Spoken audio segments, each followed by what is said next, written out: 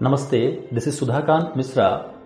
I am into the field of yoga, acupressure, diet, nutrition, and I have around 11 year of experience and I am working right now with the Tratak Holistic Clinic, Baswanagar, Bangalore.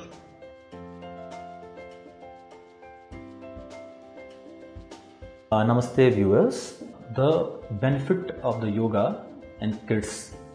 Actually, kids need uh, focus, kids need the concentration, and especially kids means the once they have the adolescent kids, a lot of changes happen in the body, like a hormonal changes, and especially yoga works to balance the hormones.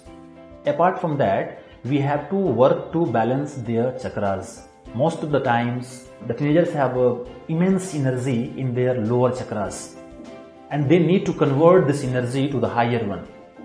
So yoga help to balance this energy in the body. If the energy is not balanced, the kids is not able to understand what's happening in uh, their body, and uh, they are doing the uh, activities. Uh, with that activities, the parents get worried that why they are doing this, and uh, they are making all the effort to the kid, uh, make him on the right path. But my suggestion is, especially for the kids, the yoga is the one of the best way to balance their energy. And the most important is that if the kids need to increase their lungs capacity their immunity because nowadays the most of the kids due to their the improper eating the fast food eating they have a problem with the digestion they have a problem with the allergy.